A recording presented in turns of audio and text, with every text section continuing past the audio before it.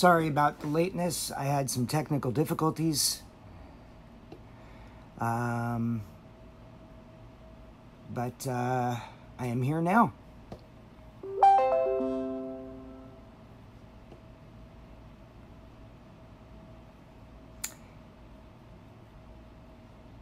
My bad. Um, didn't realize that the link would not appear in the first uh, post that I put on Instagram, but uh, hopefully people should be able to see the second post and be able to get on here.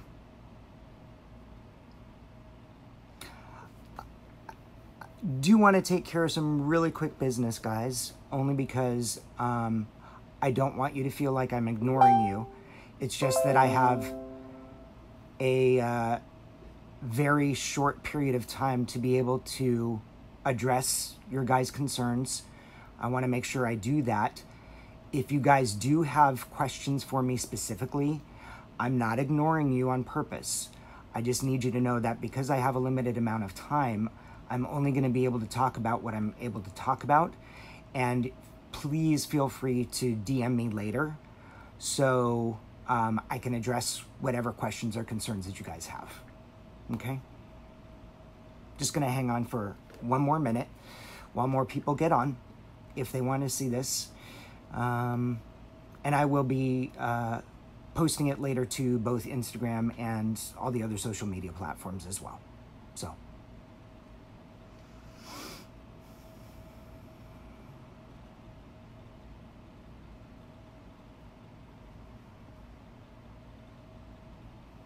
I, I somebody's asking if I really will answer questions. Yes, I will.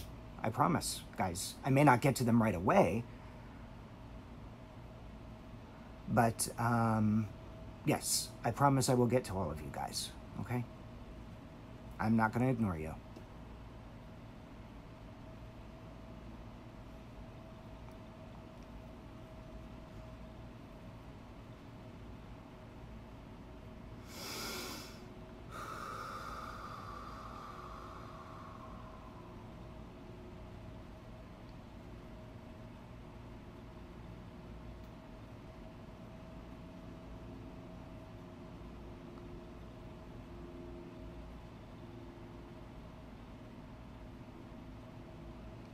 Guys, I'm going to request just because of what I'm trying to help everybody with in terms of addressing concerns. Um, if you feel the need to harass me on here, please just leave the live stream. Don't do that. Okay? Let's let's at least for a few minutes just be nice to each other. I would appreciate that.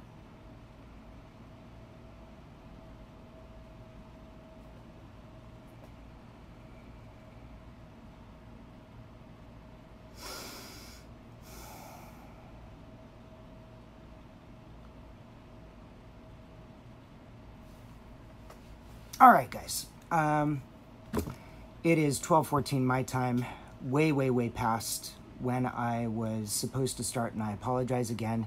Had a little bit of technical difficulties, um, but uh, the reason that I am doing this live stream right now um, is because I felt the need to do so at this point. So based on accusations that I'm currently being accused of, um, I have to step up and tell my side. It's time. And I feel the need to do this because uh, what was initially a small situation has become quite misrepresented. And um, I can't allow it to continue. So here's what I'm going to address, okay?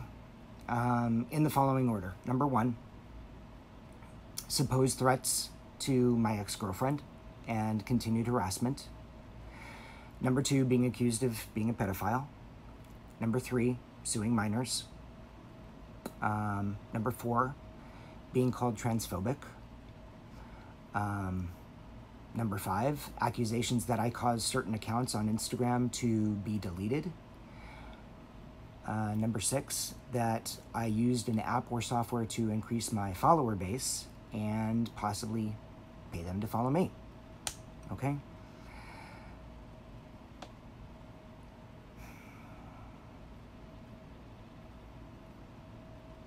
Guys, if anybody's being negative on here, please don't read the comments. I, I'm trying to create a safe environment for everybody here right now. Um, okay, moving on. All right, so um, first, guys, let's. Um, I'm sorry, guys. This is uh, not okay.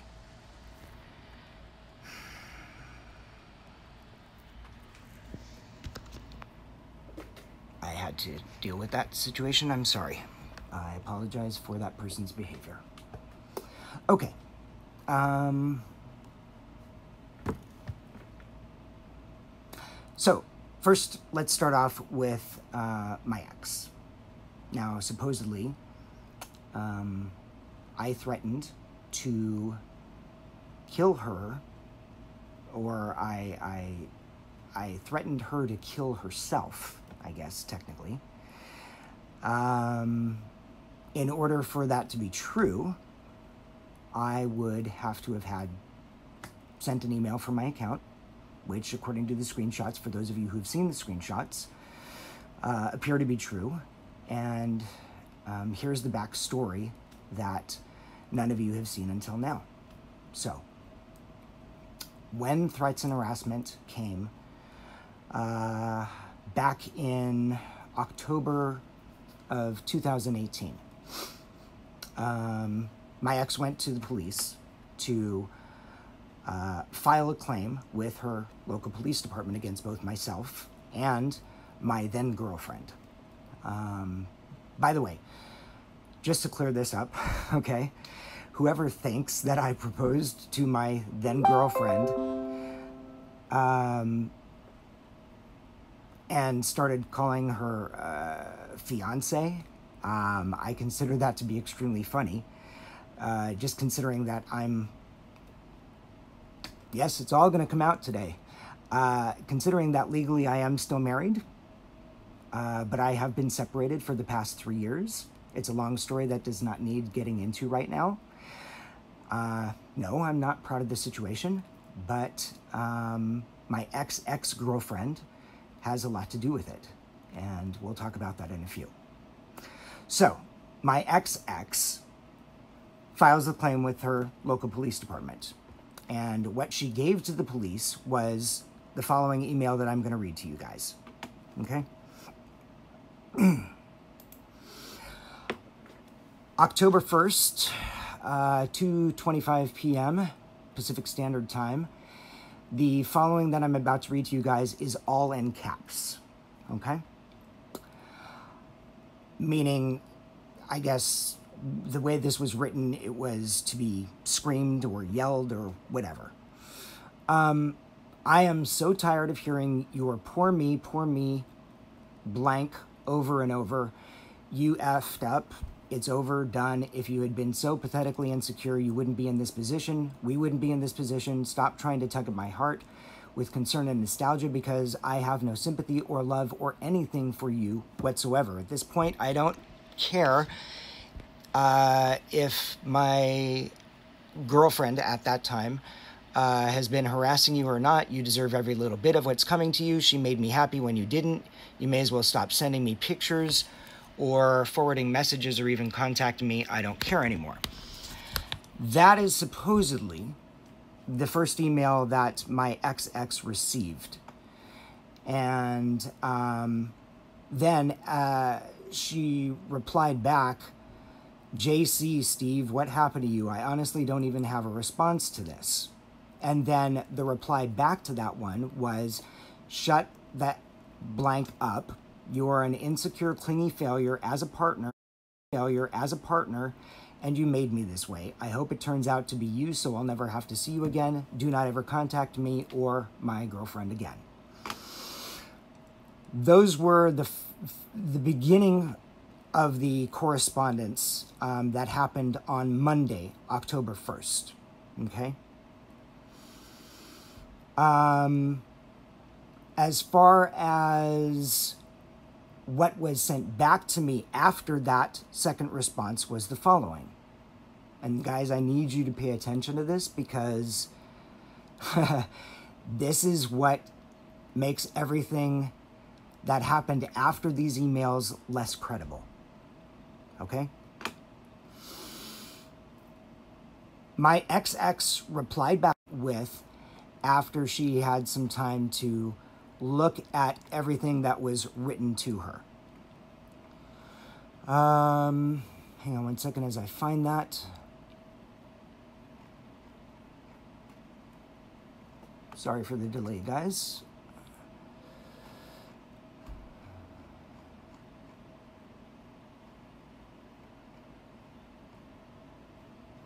Uh, okay, here we go.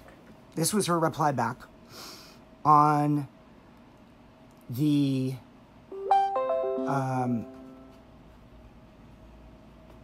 this is what the reply back was from my XX after those two emails that she had received that were in mostly caps. Okay? Believe it or not, I actually believe that you were not involved in the email sent to me yesterday and this morning. Some of the things contained in those emails were too cruel to be said, even by you. After the cluster of emails this morning, I began receiving emails that appeared to be sent to myself from myself and were spam porn site advertisements slash dating sites. Through the header in Gmail, I was able to determine that the IP addresses were from someone else's state, not California. I believe you, I believe your and my emails may have both been spoofed, not hacked. But that's a question for Yahoo to determine. This came from her, herself. She specifically said, based on the language of those emails, that it couldn't have been written by me. Somebody who knew me for two years. So that's that. Um, next, uh, let me go back here. Sorry, guys. So this this email that happened came before she filed the police report. Uh, she herself, like I said, stated on the verbiage that she couldn't imagine someone like me writing the email. Um, so, what happened next was um, after she filed that police report, she also put on social media that she felt that I had actually done what she said I didn't do in terms of providing those emails. Um, she provided quote unquote proof to the police officer based on the email that I just read off to you guys. And she also posted on social media that she was going to do the following. Um, this is an email that I wrote because I received a voicemail from Officer Barrera, uh, officer, uh, the officer that was in charge of taking the report. Okay. Um, and so I said, "Hello, Officer Blank. I left you a voicemail yesterday. I guess you were not able to call back. If you could please respond to this email no later than 12 p.m. Central Standard Time on Tuesday, it will help with the phone appointment that I have with an attorney in the city at 2 o'clock. I'm writing to you because of some things that my XX has put on social media. I need to know if it's possible for them to be true or if she's quote unquote blowing smoke. Number one, she claims she filed a report in addition to local police to the state police cybercrime unit. Is it possible to do this if she hasn't even given you solid proof for your case? Number two, has my XX given you more evidence other than the one email that she sent you? Number three, in addition to the State Police Cyber Crime Unit, she claims she has either provided you or them with her phone and her laptop to be da, da, da, uh, to be scanned by forensics, as well as an order for phone providers on myself and my then girlfriend. Neither I nor my then girlfriend have been contacted by our phone providers in regards to this request. She also claims that the DA is aware of her case and is ready to assist her. Uh, number four, she also claims that either you or the state police have contacted the convention that I'm supposed to be attending this month, and that my then girlfriend will also be attending, and that the convention has been advised not to allow my then girlfriend to be present is this true? Because my girlfriend has not been contacted by the convention, nor has anything been sent to her. Your help in answering these questions will be greatly appreciated. So, there were four things that uh, my XX had posted on social media, all of which were relatable to those four specific points in terms of what she said that she was going to do and that she had already done. This was the reply back, guys, from the officer. Okay? From the officer, he said, quote unquote, she is blowing smoke. Nothing further has been done through the Rock Island for through the uh, local police department. She only provided one email, and that is the quote unquote fabricated email that came from you. I can't speak for the state police department, but I highly doubt that they are doing anything about this. Okay? So, in terms of the credibility, in terms of what she, what my XX said she was doing and in the process of doing, providing her phone, providing a laptop, all that stuff, that was not true. It was blowing smoke. All right. Um, so, my first ex, okay, continued to provide supposed proof to convince me that my then girlfriend was behind all the calls and threats that she had been receiving, even going so far as to pinpoint a location that she thought all the communication was coming from. Uh, it was at this point that I realized something that I hadn't done. So, oops on my part. But I did not secure my email with two-step authority, uh, two-step authentication. I changed the email that I'd been using for voiceovers on October 7th. Now, please keep in mind, guys, that there were only two people who had access to my email, um, including flight information uh, for upcoming conventions, um, which was, you know, uh, the reservations were for myself and my then girlfriend. Um, once I implemented the security, um, my first ex no longer had access to those emails. But um, that doesn't necessarily mean that she couldn't have copied them down.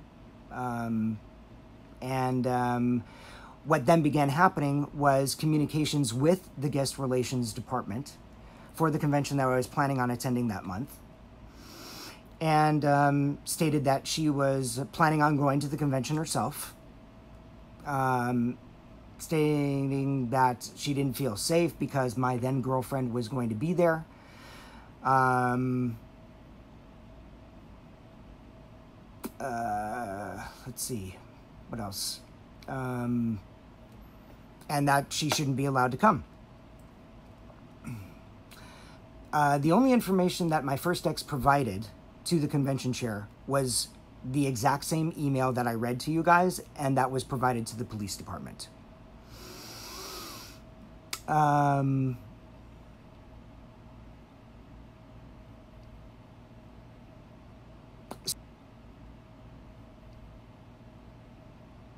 so because the con chair didn't feel that that was enough of a security measure to take against a person that was going to attend the convention.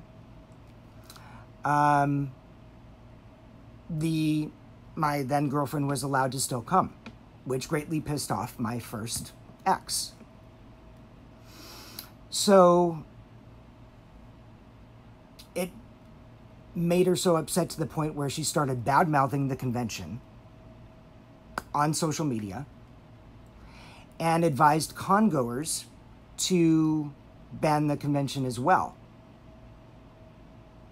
Does it sound similar to what's currently going on, guys? Because that's currently happening right now. Um, fast forward to the morning of the convention.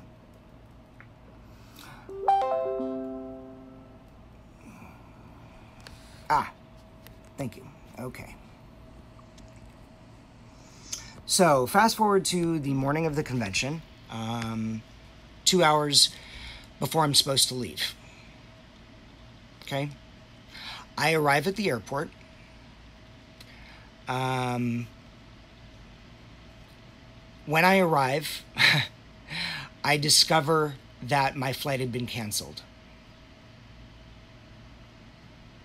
I don't know if you guys just heard that, but when you arrive at an airport, normally you get a confirmation that you're ready to go, you're ready to fly. My plane ticket had been canceled two hours prior to me leaving. Guys, I'm trying to be as nice as I possibly can be. I'm going to ask you if you can't be nice on this while I'm trying to clear things up for the people who actually do care, please stop. There's no reason for this, for you guys to be doing this harassment right now. Okay. All right, so day of the convention, two hours before, um, I find out that my flight gets canceled. Okay? I had to wait a half an hour for uh, special services. Uh, they have a special services department at the airport to speak with them and um, find out that supposedly the convention chair called the airline to cancel the reservation. Called the airline to cancel the re- two hours before I'm supposed to fly to that convention. The con chair calls to cancel the reservation. Yeah, I know it doesn't make sense, right? But I was freaking out. I mean, like, when does that ever happen to anybody? like, you know, it doesn't happen to anybody, but it happened to me. So, um, I I say, uh, let me make a quick call. I need to um, you know, I need to figure out what's going on. So, uh, three hours Eastern Standard Time, um, when I'm there at uh, 4:30 in the morning, um, I wake the con uh, the guest uh, chair up uh, out of a sleep because I'm freaking out, and I'm I'm saying I need to know what's going on. Did you, for some weird reason, cancel my flight ticket? And she's coming out of this sleep and she's going, What are you talking about? I'm going, Well, my plane ticket's been canceled. And she goes, You're kidding me. I'm going, No. She goes, um, I did not call an airline when I've been asleep this whole time. And if they're saying it happened in the last two hours, let me talk to the airline and see what I can do to try and fix this. So keep in mind, guys, that um, I, as I'm trying to get this figured out, as as the the guest chair is is trying to figure out what to do next, I get a message from my then girlfriend saying that the same thing happened to her ticket. Hers got canceled as well. So, um, I can't point fingers, okay? But based on the fact that only two people had access to my email, one of them whom was me and the other who was my girlfriend, and let me let me kind of specify the reason that my first ex had access to my email is because I needed help in contacting conventions. That was the email address that I used at the time for conventions to contact me. And she was also able to help in replying back to conventions that had questions for me if I wasn't able to get to them because of my other job. Okay? So that's the reason why my first ex had access to my email. So even though I can't point fingers, guys, right? The fact that my plane ticket was canceled, that the guest chair did not cancel my plane ticket reservation, that I didn't cancel my plane ticket reservation, that only leaves one other person. So hopefully you can put two and two together regarding that. Um, so now, I, I, mean, things worked out. I was able to go to the convention, thank goodness. Um, but uh, now we're going to fast forward to supposedly continuing harassing emails and random calls that my first ex um, had been receiving for a month and a half after that incident. At this point, I had the need to hire an attorney because the envelope was pushed when my wife uh, started getting texts from a random number. But based on what was said, we're coming from my first ex. Yes, um, she did have uh, uh, my. Uh, she did have my wife's phone number. Um, so I go to another convention at the beginning of December to see my girlfriend and her family. And I made a promise to do that to her because I felt if I was going to be close to this person, I needed to get to know um, all of her stuff.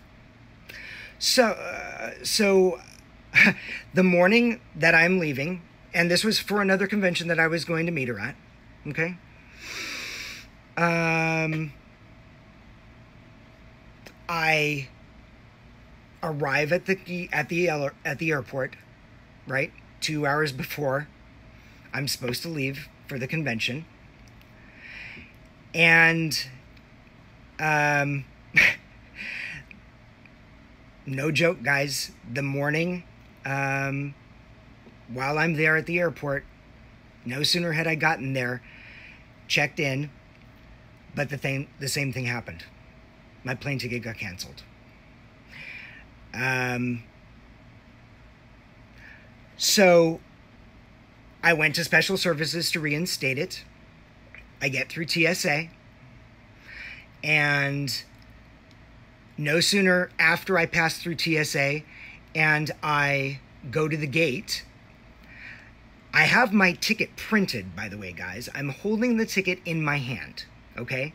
I go to the gate to confirm my seat and they look me up in the computer and they can't find me. My reservation had been canceled again, a second time. The same thing happened, guys, four more times. Four more times within the span of every time that my ticket was reinstated, it got canceled no more than a minute and a half after it was reinstated.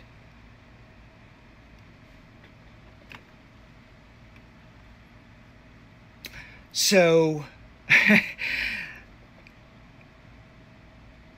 the difference between the first incident and the second incident is that this time anonymously from the internet and nobody called in to cancel it.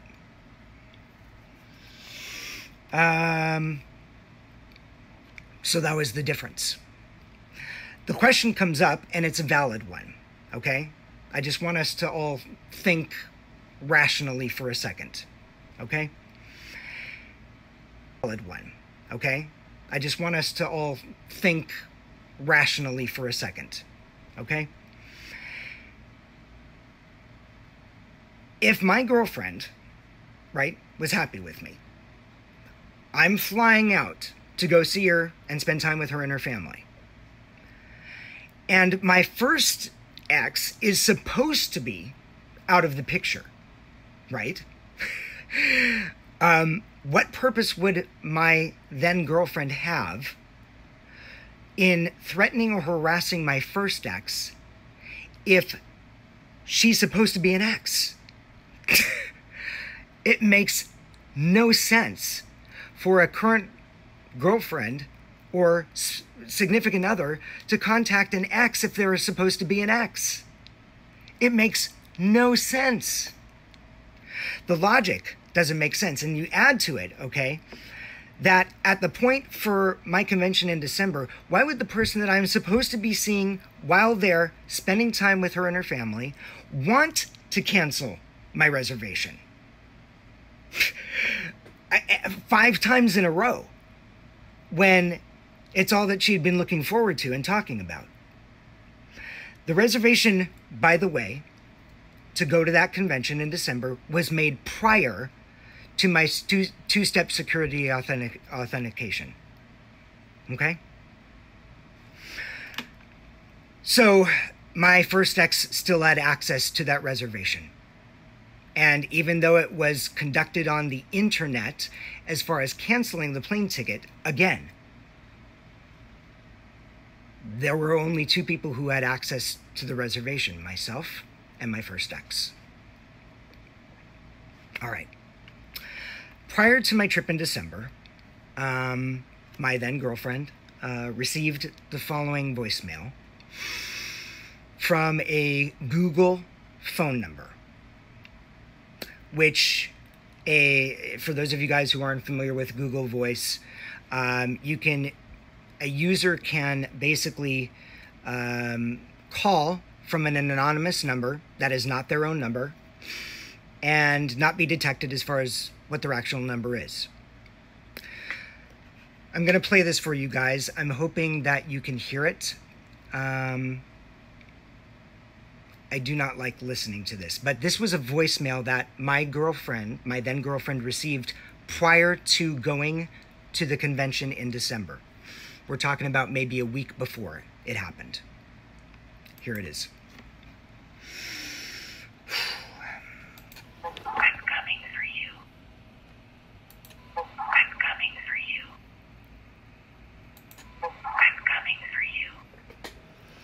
She didn't say that three times, but I played it back for you three times so you guys could hear it. I don't know in what other world that isn't considered threatening, but when somebody says that they're coming for you, I'm sorry. I don't care if the person initially doing it said it was a joke or maybe thought it was a joke or it was supposed to be a joke when you do that to somebody you're not even supposed to be speaking with, that is not okay. Shortly after that voicemail, maybe a couple of days later, still before the convention, okay, my then girlfriend receives the following message. Uh, let's see here. All right. She messaged me. Um, she sent me a link for TikTok. My then girlfriend at the time had TikTok. And this is what she messaged me. This is the TikTok account that has been checking my profile for the last several weeks. Uh, remember how I said I thought it was shady? Well, today I clicked on the Instagram button, and guess whose account it took me to? the first ex girlfriend. Um, you can check it out yourself. I hate that I clicked on it because now she probably has it tracked and will say that I'm stalking her. However, it would appear she has in fact been stalking me. This is creepy. What other accounts of mine has she been checking frequently? And then she came back uh, after a break and she said, So I've done some more research. Apparently, her number one fan is linked to a musically tracking app called musically.icu. The way I found this out was I clicked on the YouTube uh, button on the fan's TikTok profile.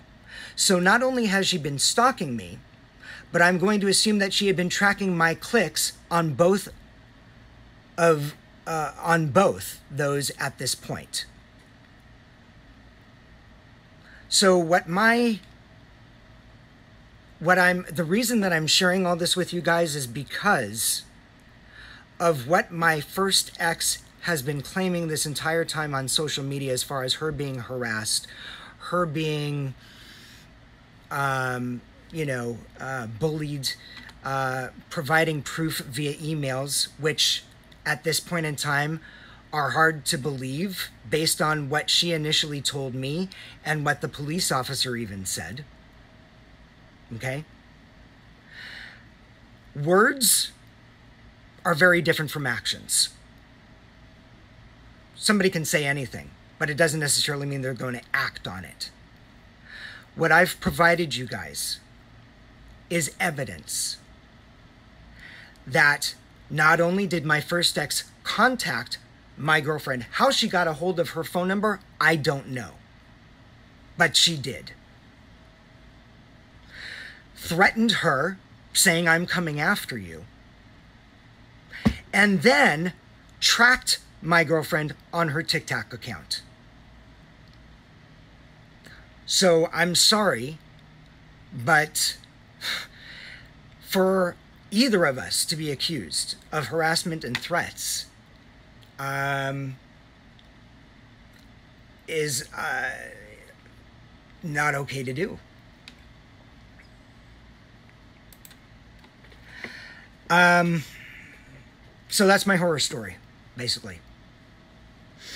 If you feel that after what I have shared with you guys, all right, that either my girlfriend or I did have something to do with my first ex harassing me or harassing us harassing her, then there's no reason for us um, to, you know, it, there's no reason for you guys to follow my account on either Instagram or Facebook. Okay? Um, I think that based on the fact that you guys that I've provided enough proof to you, and I am seeing some comments in the messages saying provide proof. I may consider doing that. Um, the fact that you guys, you know, uh, want to see something, I, I might consider that. I'm not promising you that I will, but I will consider it. Okay. Um, but if after me sharing those two specific things with you guys that you feel you still don't believe me, right? Then let's just do each other a favor. Don't follow me anymore on any of the social media that I have. Okay? Just let's do each other at least that favor. Um, for those of you who have now heard my side of that particular story. Um, and you may not necessarily believe me 100%, but there's doubt, there's reasonable doubt, then all I ask you guys is to stop spreading untruths that either myself or my fir- or my second girlfriend were harassing or bullying her it's not deserved. And that's all I've got to say about that. All right? So, um,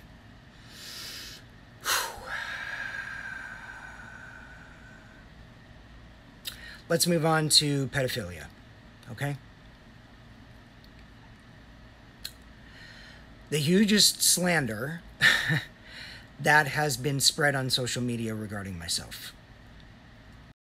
Slander that has been spread on social media regarding myself. I'm going to let you guys know something. Um, this is not something that I share publicly because it really isn't anybody else's business except mine and people who I know who I'm close with. But apparently, my personal life can't be personal right now. So,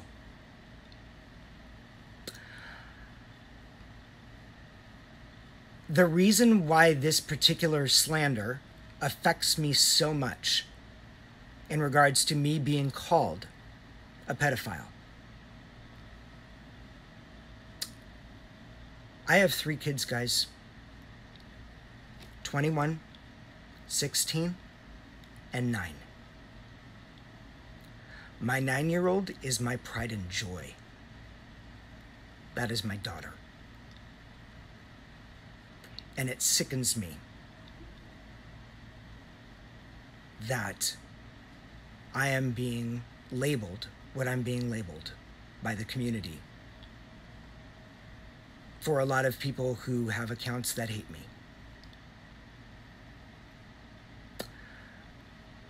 Um, the accusation that I am being accused with, according to other people's definition of being a pedophile, of being a pedophile, um, upsets me greatly. And before I begin, I, I feel it's important for all of us to be on the same page right now. Okay? As to what exactly a pedophile is, what constitutes a pedophile, since that word is being used very loosely right now by teenagers who are accusing me and causing quite the outrage among many of my followers. So, let me bring up something that I did some research on. Um, and hopefully that will help all of us being on the same page. Okay? So, uh, let me go to my folder here. All right.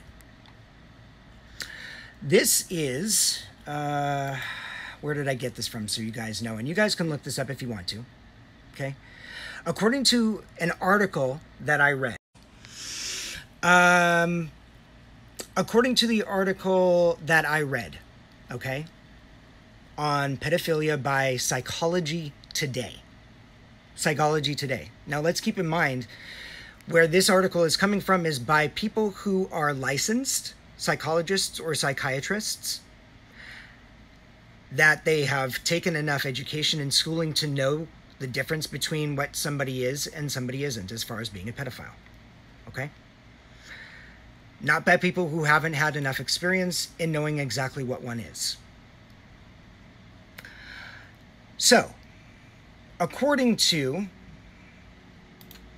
what I am looking at here on Psychology Today, uh, by the way, if you guys just type in psychology today and look up pedophilia, you'll find the same thing that I'm about to read to you. Okay? Pedophilia is an ongoing sexual ongoing sexual attraction to prepubertal children. It is considered a paraphilia, a condition in which a person's sexual arousal and gratification depend on fantasizing about and engaging engaging in sexual uh, behavior that is atypical and extreme. Pedophilia is defined as recurrent, recurrent and intense sexual arousing fantasies, sexual urges, or behaviors involved uh, involving sexual activity with a prepubescent child or children, generally aged 13 years or younger, over a period of at least six months. Pedophiles are more often men and can be attracted to either or both sexes.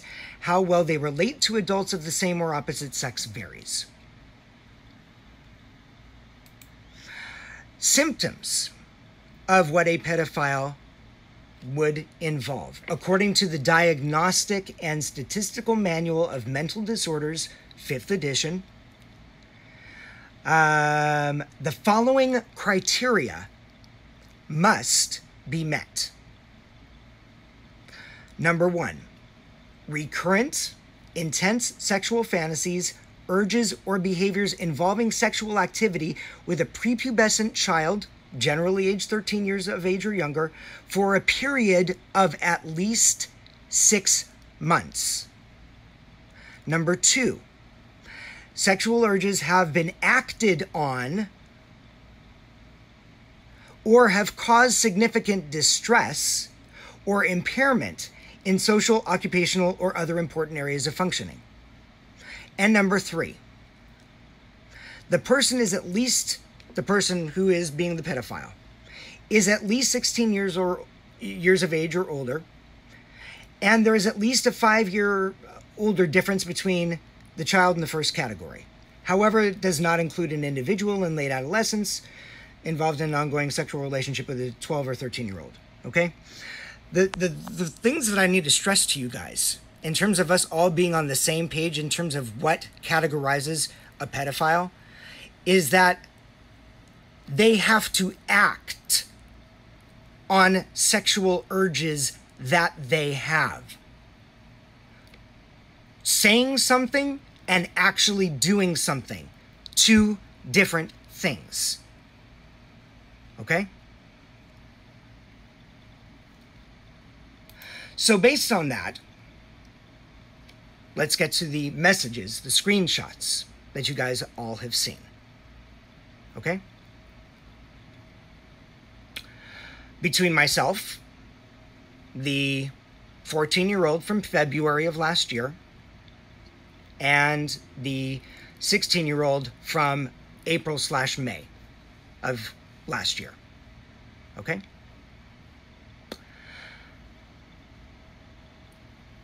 Is what you saw as far as the screenshots, are they fake? No, they're not fake. Should a teenager have to disclose their age to somebody communicating with them? Absolutely not. However, what is clear, okay,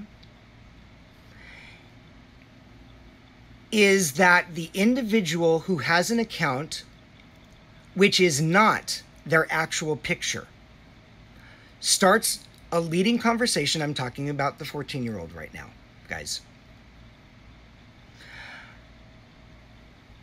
They start a leading conversation from a post. They then transfer that to a private message, DMing. Before I DM'd, I looked at the profile picture.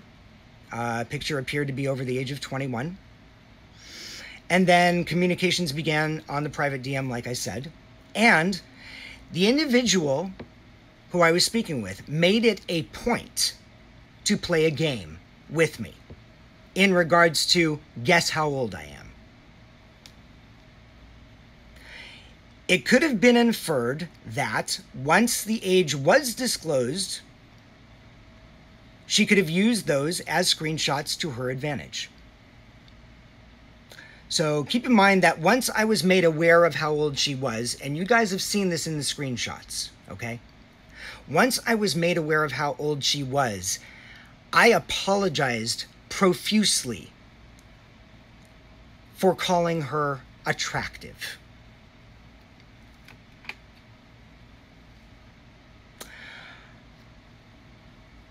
after learning that she decided to post those screenshots, after she told me that she was okay with my apology, that she still looked up to me, she then turned those pictures in to my first ex, whom I was not involved with at the time. I was not wrong, guys, in calling a young woman attractive. I provided a compliment. However, in finally realizing her age, as I'm stressing again, remember, because you guys have seen this in the screenshots, I apologized for what I said. That is the only interaction that I had with her. I didn't track her down. I didn't stalk her. I didn't see where she lived and try and hunt her down. Done. That's it. Now, you'd think that if I didn't see someone's age on their profile, that I would ask before communicating with somebody else later on. I mean, you think I would have learned my lesson, you know, uh, from the first time. But apparently,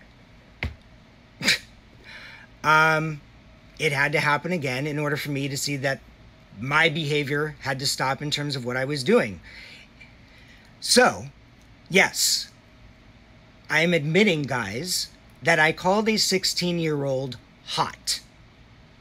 Okay? A cosplayer, when she asked for my opinion on how her cosplay looked. Uh, I didn't realize it at the time as far as how old she was. I said what I said. Um, and when she and I and and and basically, uh, I don't remember what happened after that, but I stopped communicating with her. That was it. She never told me what her actual age was. What she did do, however, is go directly to my first ex. She had screenshots of the conversation, which you guys have all seen. Okay? Which, guys, I'm not really not trying to point fingers here. I'm just trying to clear up the fact that nobody is 100% perfect. Okay? Um, everybody does bad stuff from time to time. But if you take a close look at the entire screenshot conversation between the 16 year old cosplayer and my first ex girlfriend, my first ex girlfriend does state, if you read all the way through the screenshots, that she's a homewrecker.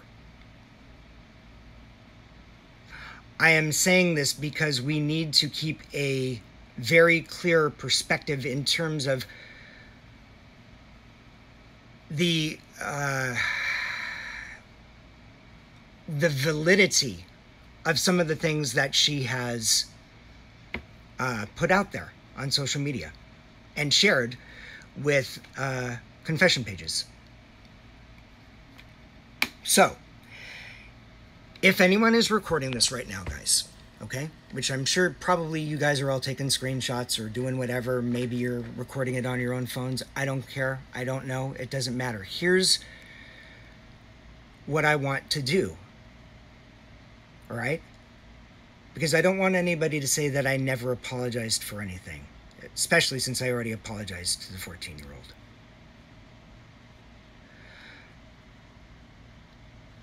If anyone is recording this right now, please share this with the 16 year old cosplayer because I never had the opportunity to do this before today. Um, keep in mind, I just realized about a week ago it was shared with me from somebody who was on this other account's post. They they shared the screenshots of the conversation that my first ex had with the 16 year old. That's the first time I was made aware of how old she was. Okay? So, again, for those of you guys who are watching this right now and are recording it, please share this with the cosplayer. I am sorry for my actions as far as them making you feel uncomfortable. That was never my intention, and I apologize profusely that you were offended and that you were made to feel uncomfortable.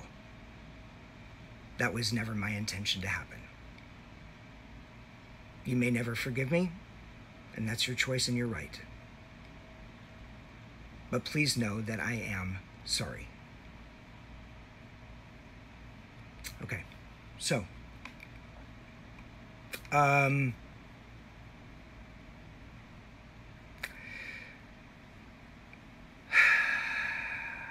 after uh,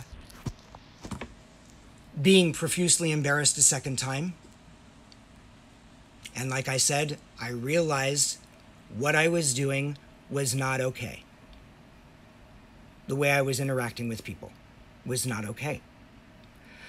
But guys, keep in mind the two screenshots, conversations that you have seen are both from last year. One from February, one from April slash May. You do not see any screenshots about me conversing with any minors in a flattering manner after that. None. There is nothing out there. This happened more than a year ago. And all that I did was flatter people. Not in the correct way. But that's what I did. That's it. I did not have. I, I don't even want to go there because I don't even want to say it. It's gross. But that's all I did. That's all that you guys can accuse me of as far as quote unquote being a pedophile. That's it. Words that I used to make people feel uncomfortable.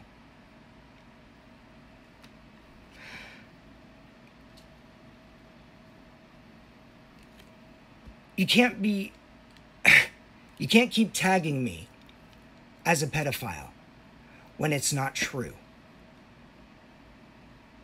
And your accusations of me, whoever you guys are that are actually tagging me as one, the accusations that you have for me, okay, are misrepresented.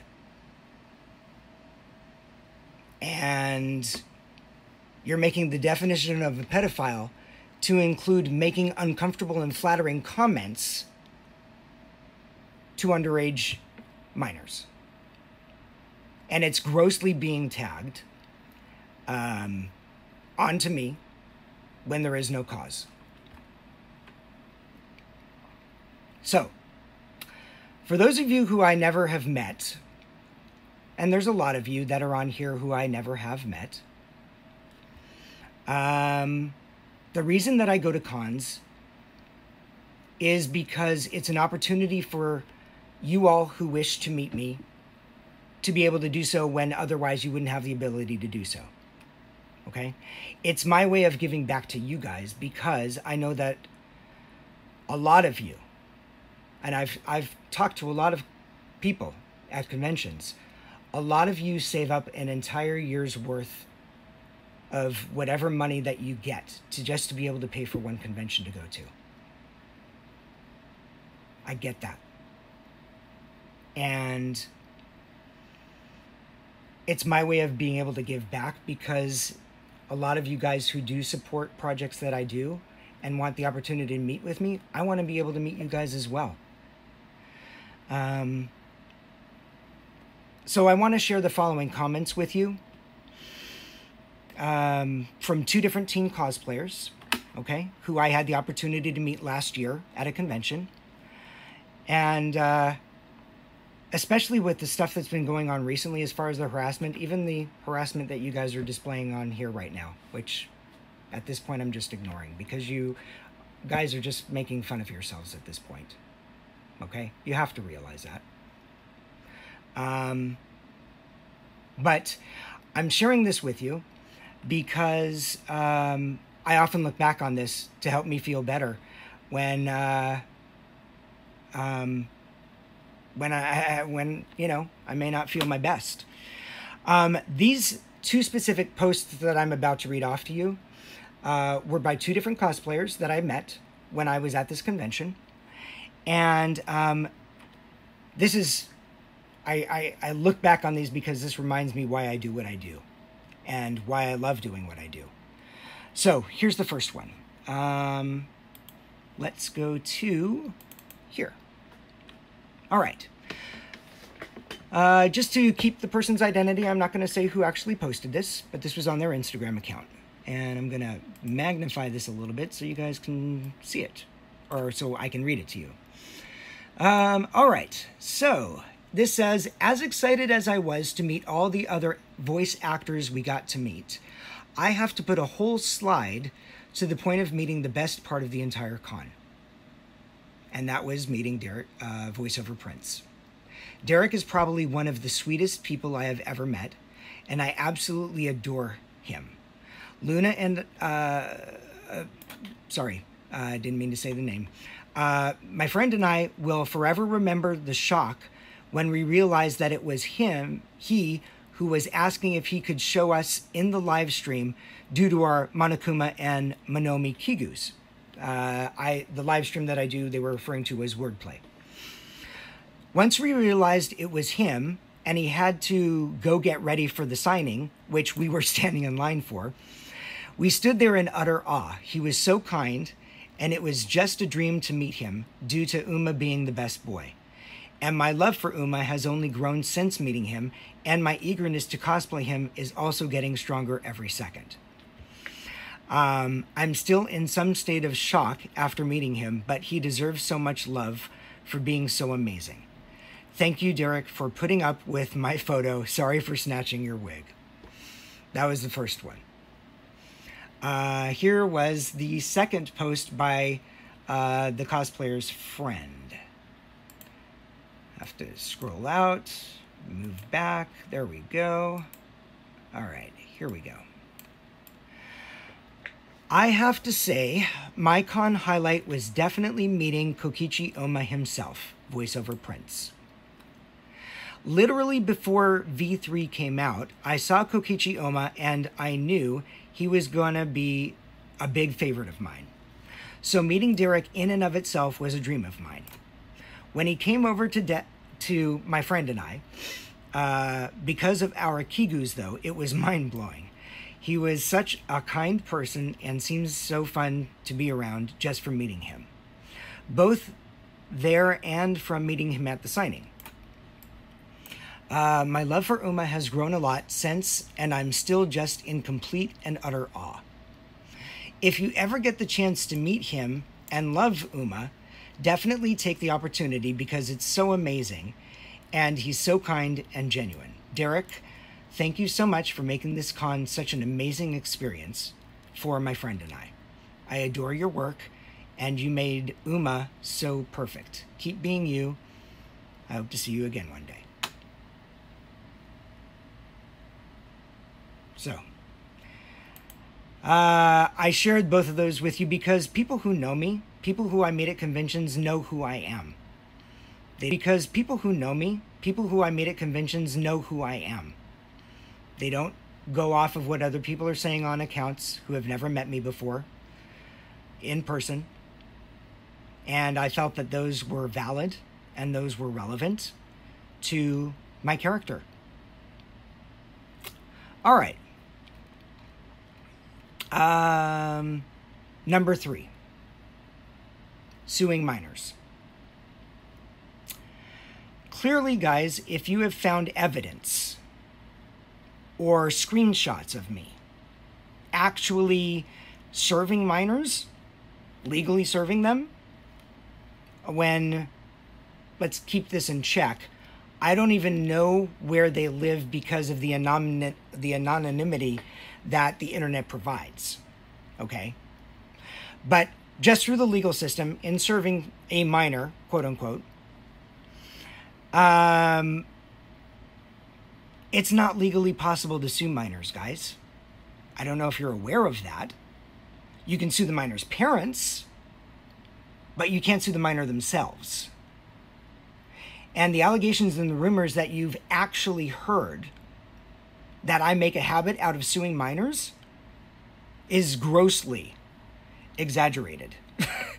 I mean, especially since they can't be sued. So please find something better to do than um, accuse an innocent person of something without proof to back it up. It's uncalled for. All right? Number four. Uh, being called transphobic. No one's perfect, guys. And um, when the comment was made to the trans this year, it made the individual uncomfortable. Uh, they didn't come to me to educate me or help me understand um, that what was said was not okay. Um, so please don't expect a person to know rules of a certain community when they don't know the rules to begin with. Yes, it was wrong. What I said. The situation didn't feel okay at all. Um, but it hurt immensely when I learned that what I did was wrong from a friend who confided in me a conversation that they had with that person who is also trans.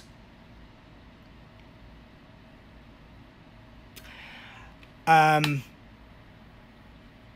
it should, you know, it, it should have to be so much better if, um, you know, they had educated me I want to properly say. I honestly thought that I was trying to be helpful. I, I really did, guys. Um, you know, because I was trying to make them feel better about themselves, not being demeaning, which is how they took it. And then they shared that discomfort with a confession page. And uh, the confession page posted the conversation. I was never consulted on the whole story. I was ignorant of my actions at the time. But you can't call me transphobic because of that. I haven't earned that title or deserved it. I try to support all people, no matter you know what their preferences. I I I support my friends no no matter what their preferences, and I think it's sad honestly, I'm going to share something with you guys because I have had interactions with a lot of other uh, trans people. I think it is sad in this day and age, in this community that we live in right now, that there are not financial options available for people who wish to become who they know they are better off being because they are um, restricted um, from being able to do so. They don't have enough money to be able to make themselves the way that they would like to be. And um, it hurts me greatly that um, many of you guys accuse me of one single comment that I made as being transphobic. We know people out there who are actually transphobic, people who are haters. I'm not one of them. So, Let's move on to six, okay? I know that you guys are waiting with bated breath to hear what I have to say about um, accounts being taken down. So, accusations that I caused certain accounts to be deleted.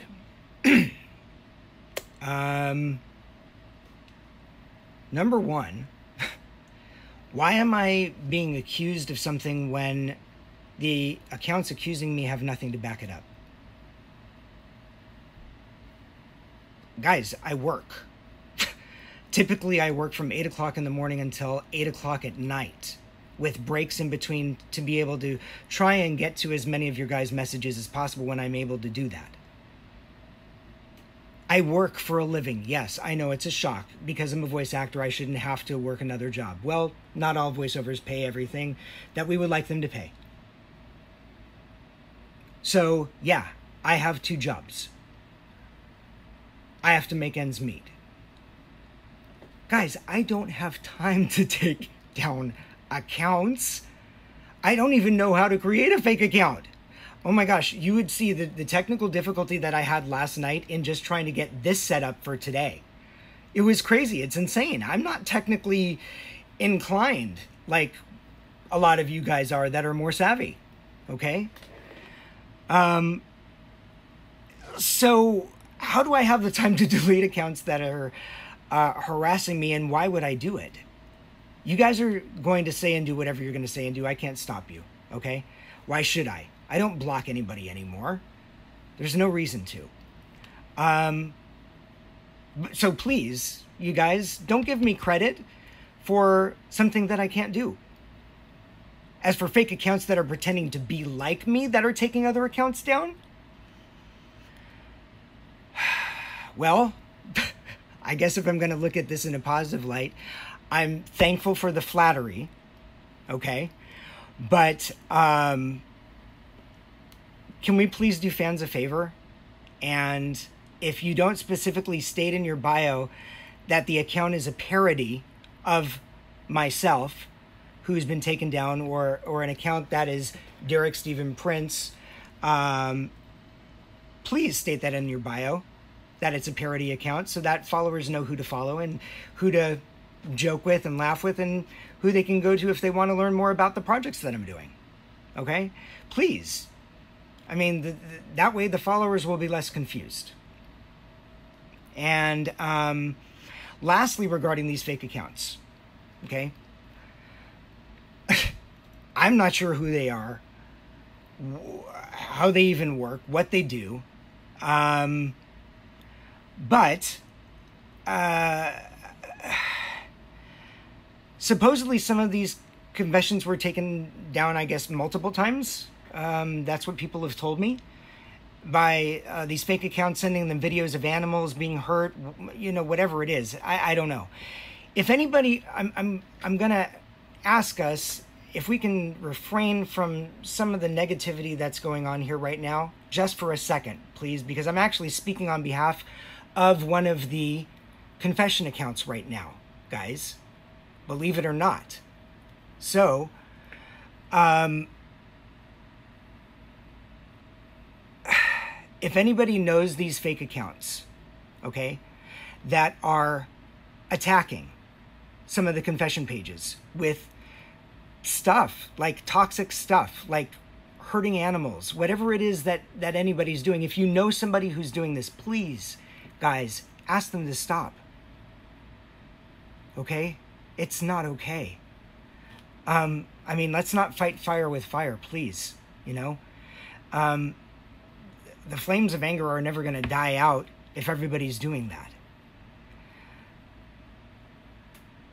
And if we can be better and take the higher road, I know we'd all like the toxicity to stop that's in the community. Um, I'm hoping with this video and once I post it um, that it will, but I can only do what I can do. All right. Last but not least, that I have some sort of app or software. All right. Last but not least, that I have some sort of app or software that um, has just drastically increased my my follower base. okay. um, that has to be the most flattering but ridiculous accusation that I've heard this week. Um, let me educate you guys on something. I, I, I don't mean to be sarcastic, but maybe some of you are out there really don't know how this works. And trust me, I learned about this recently, so I get it. I used to have criteria in accepting people on Instagram. They had to block three specific people, one of which was my first ex. And I felt the need to do that, and I had every right to make that request because my then girlfriend, my family, and I are all being targeted and threatened. When I chose to make my account public, I um, thinking, you know, if I opened it up, that maybe that would help calm down people because they'd know that I have nothing to hide. They could just follow me as they choose. Um, I was hoping that the accusations would die down, but the exact opposite happened. They just increased. And what changed is that after I made it private again, um, I chose to clean up my account, you know, to make it age friendly. Uh, some of you guys saw I didn't have as many posts as I used to have. I did that for a reason. It wasn't because I was trying to, well, let, let's be clear. Yes, I was trying to hide stuff, but I was trying to hide stuff because it wasn't age appropriate for some people to see stuff. That's why I did that. So I chose to clean up my account, and then, um, you know, uh, the confession pages increased their their their their tagging of me, their hatred for me, whatever you want to call it. And we all know what happens, guys, when one person's targeted. Right? All these accounts that don't follow that particular account start wanting to follow that account and seeing what's going on. In less than four hours after stuff was posted by these confessions accounts, I had over 250 people wanting to follow me. So, as much as you'd like to give me credit for the increase in my numbers, confession pages, thank you, because you're the ones that allowed that to happen. I'm sorry. You know, uh, to, to say that I actually have to pay people to follow me is ridiculous. It's 100% ridiculous. It happened just out of the nature of whatever you guys posted. So, anyway, I may not have addressed all of your guys' concerns. Um, I did, I believe, cover the majority of them. All I can do is provide you with honest answers, guys, uh, and information, and hope that the continued harassment that I've been receiving from accounts stops. Um, you know, people who want to continuously bring others down are toxic. And um, they provide no positivity. Uh, I honestly don't know how you guys get up in the morning feeling good about the day when the only desire is to see others fail.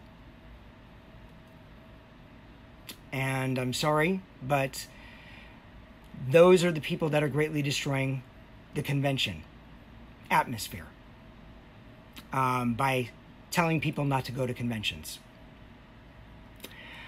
They are providing absolutely no positivity whatsoever. And, um, you know, like I mentioned before, guys, I've met people who have to save an entire year of their allowance or whatever it is that they get if they don't even get an allowance just to be able to go to one convention.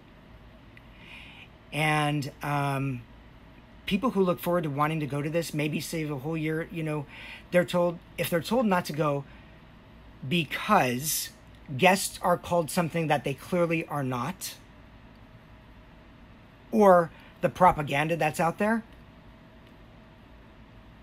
i have no words um, but on behalf of that community i am asking for you guys please to stop Stop the toxicity that is continually being provided. Focus on positivity. You know, conventions are supposed to be the one place where all of us who love and enjoy anime are supposed to feel safe. You guys are not providing that. Those of you who are are doing what you're doing and saying what you're saying. Um, for your own sakes as well as mine,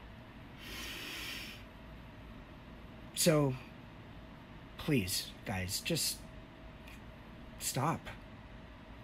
And unfortunately, as much as people want to bring others down, um, the people who I have met who know me and who know what a good person I am, um, it'll far outweigh those who are toxic and who choose to continue doing what they're doing. They're only going to bring more negativity and more negative attention to themselves. Um, you know, based on what a couple of accounts shared with me for, for some confession pages, accounts posted negative material that in one case promoted suicide. Um, I'm shocked that you guys honestly for for anybody who was doing stuff like that, who I got a screenshot of. Um, I'm shocked that you guys weren't reported before. Could have been anybody that didn't like what you guys were posting that could have taken you down. I, I'm I'm not trying to be mean. I'm just being honest. you know? Um, and uh, the other thing in, in regards to um, conventions that I want to make sure that, you know, I, I get out there is that, you know, if conventions become targets for confession pages animosity that they might have towards certain people, then conventions are no longer be going to be a fun place to, to go to. And, um, you know, uh, then we will have to find other outlets instead of conventions for being able to meet up and share our love for anime. So, um, I'm still shocked by you guys posting what you're posting on here. It's it's it's just making you guys look really clownish. Anyway, all right. Um, that's all I have to say for now. I apologize if any of you guys were asking me questions that I wasn't able to answer them. Um, but like I said, please feel free to direct message me. I will answer your questions. I may not be able to answer all of them right away, but I will. I promise you I will. And um, I hope you guys have a great rest of your day. And I hope you guys have a great weekend. Take care, guys.